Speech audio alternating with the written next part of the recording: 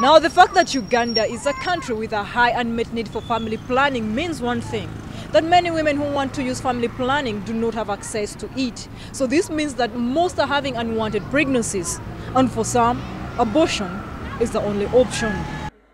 She's 19 years old. She says the abortion was not her first choice, but given her circumstances then, it was inevitable.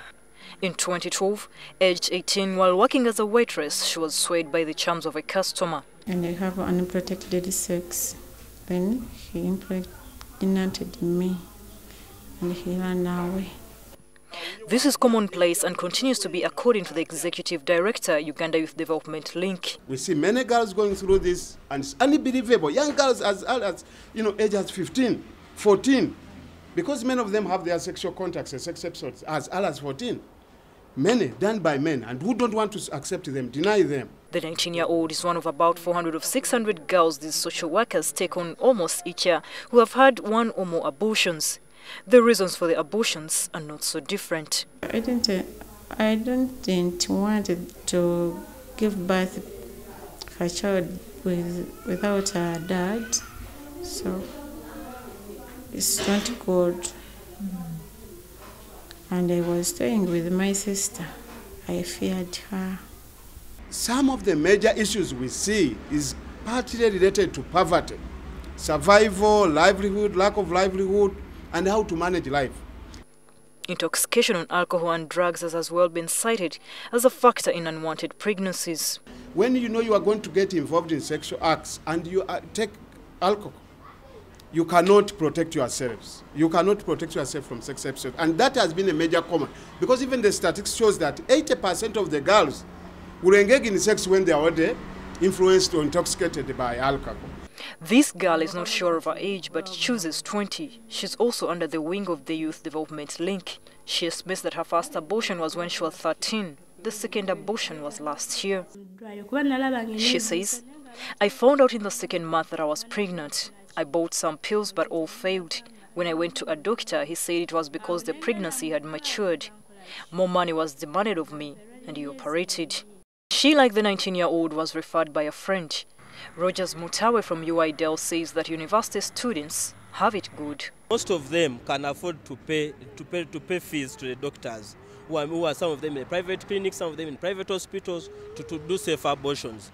But in most cases, you find that these doctors or these clinics where they go, they, they are never registered in, in those clinics. So that means they, they just go to a, to a doctor, say, doctor, he does the job, he does the safe abortion, and you move out. You pay and move out. So the issue is that you have no evidence at all that you can live or register anywhere. That in case of any problem after after after abortion, you cannot have any fallback position. Some, however, are unlucky. They never see the inside of a clinic or hospital, according to Margaret, a social worker at the UYDEL Center in Kamwokya. Some of them, they lose their what? Their wombs and all that. And I've, I've referred cases to Mulago. They come here, they're like, I feel terrible. I feel, I feel I, as if I'm, I'm rotting inside. Now, the State Minister of Health, Primary Health Care, wants abortions to be legalized. The unsafe abortion contributes close to 30% to the maternal mortality in the country. And this is one area that we also need to really address because there is no reason for us to keep hiding our heads in the sand when many of our teenage mothers and teenage um, uh, young, young girls are losing their lives because of this unsafe abortion. The current law only allows for special cases at the hands of experienced medical personnel, but this percentage is less and not many know about it. We may not open up like the minister wants to open up today, for me is to relax a bit so that people can go and access medical care. They do it properly in the medical way. We all know that actually the doctors out there, those who go to them and seek for abortion, they are actually helped. Other than doing it in their own ways, like chewing the nanda, like, you know, getting the, the, that piercing thing and you pierce yourself. The reality is that abortions are still going to happen because many girls are more afraid of pregnancy than HIV. But when they do decide to have an abortion, they need to do it safely. And maybe this will reduce tremendously on the maternal deaths in the country. Florence Naluyimba, NTV.